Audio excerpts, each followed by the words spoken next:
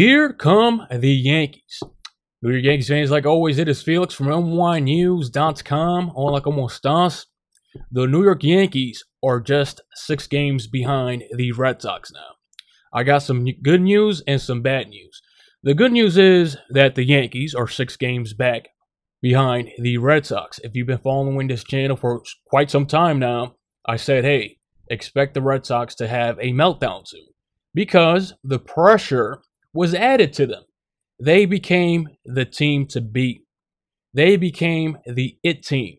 They became the team with the target behind their backs, just like the New York Yankees coming into the season. The Yankees were going to destroy everybody. Sure, they got a great record, but the target was behind their back. So now to the bad news. The bad news is that um, the Yankees were facing really a minor league team in the Baltimore Orioles. Okay, just like Mike Francesa said, hey, the Yankees are winning games, but don't uh, overhype it. They were facing basically a little league team. So that's the bad news. The real test is going to come when the Yankees had to face the Mariners and all these other legit teams that are coming up, like the A's, etc. But the Yankees have really not a little window, quite large window coming up this week against uh, teams under 500. They should easily sweep the uh, Chicago White Sox, the Tigers, etc. The real test, like I said, comes when they have to go over there to Oakland and Seattle. But I can see the Yankees gaining more ground on the Red Sox just because of what I said. The target is on the Red Sox back. So let me see the Red Sox schedule real quick for you guys. Let's see who they have to face. So it looks like the Red Sox have an easy schedule as well as they face off with the Marlins starting on Tuesday.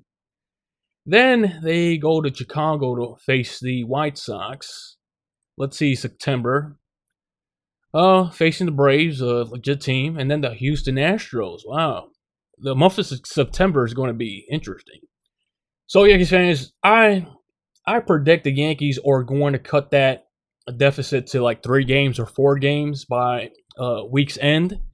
And it's going to get real interesting in the month of September. Obviously, the Yankees are going to prove if they are a legit playoff team. It's going to be really a preview of a one game playoff when they have to face off against the Oakland A's and the Mariners. So that's the real test. So, Yankees fans, I know the Yankees have the second best record in Major League Baseball. Like I said, I just think the league is weak. So, yes, they had a great series against a team they're supposed to beat. That's the difference, though. Uh, the Red Sox are what? They have won 14 games against the O's.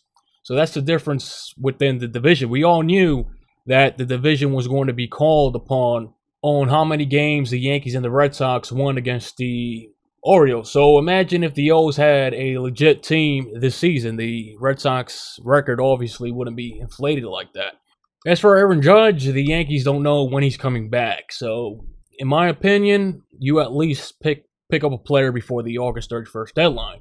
But who knows with the Yankees? The Yankees don't want to make moves. They are happy with the team they got. But like I said, you never know if, if Gary Sanchez goes down again and Aaron Judge. So that's just insurance. Just my opinion. So Yankees fans, leave your opinions in the comment section below. Do you see the Yankees going on a strong win streak? Similar to the one they had when they turned their season around earlier in the season? I believe so. They have an easy road ahead of them.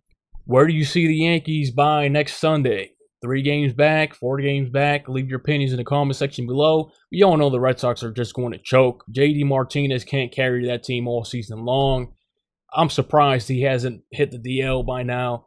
We've seen Chris Sale go down with a shoulder injury, but people are suspecting that it was employed by the Red Sox to give Sale some rest because they know he implodes by the end of the season.